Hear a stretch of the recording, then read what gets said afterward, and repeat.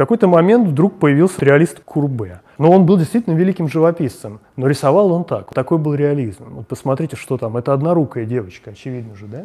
И, конечно, вот академист настоящий так бы никогда не нарисовал. Академия давала какую-то планку, ниже которой человек не мог опуститься. А вот это Дамье, который тоже не учился в академии.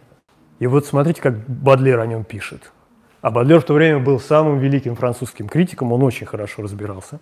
Белый лист, как какая-то масса, из которой он лепит вот это удивительное светящееся нечто, да, вот этот рельеф фигур. И так же, как было, помните, у Иванова, часть листа он как бы прожимает, опускает туда в глубину. Вот очевидно, что вот вся вот эта часть ближе, чем вот эта. Не просто предметы ближе, а все белое. Это принципиальное отличие вот от этого академического рисунка, когда фигура как бы изолирована от фона.